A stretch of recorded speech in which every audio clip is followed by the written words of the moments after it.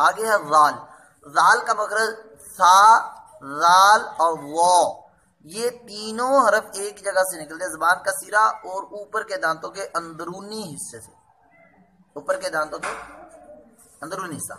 तो यहीं पर सा का मखरज है। जैसे साद गया ऐसे जाल जाल नहीं अगर आपके सिर्फ़ दांत मिले, जा। जा, फिर जा। और अगर आपने बीच में ज़ुबान लगाई, यू, नरम टाइट नहीं लाल, और आपकी सांस भी बाहर निकल, लाल तो ये लाल का मकरब, मुँह ऊपर को, लाल